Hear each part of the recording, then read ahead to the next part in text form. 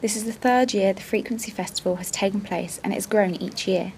In 2015, it brought 1,700 visitors into the city, and this year the organisers are expecting it to be even more successful.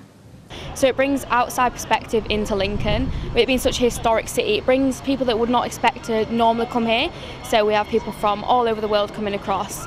So it just means there's a lot more money coming into Lincoln itself. The festival is being funded by the National Lottery through Arts Council England, with additional investment from the University of Lincoln and Lincoln Big.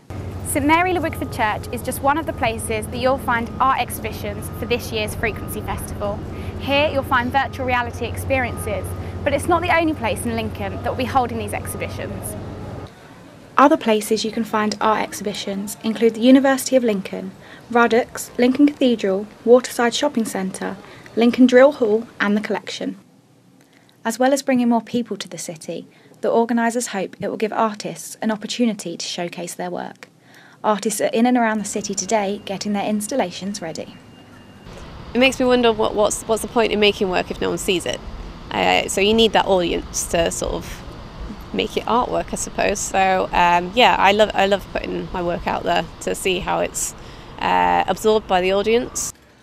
Louise Brooks, LSJ News.